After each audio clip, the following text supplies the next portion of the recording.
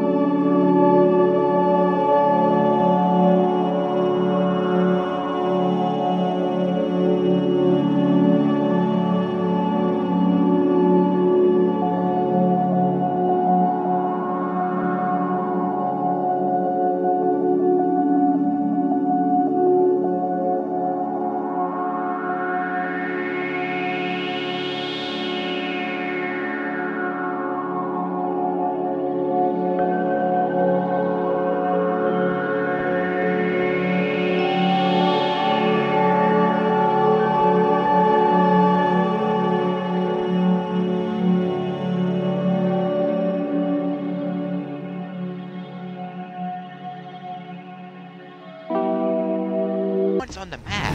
So that's gonna be a wrap for today's video. Now, if you haven't already, make sure to subscribe and join the Discord server down below to get three of the map codes that I showcase in today's video.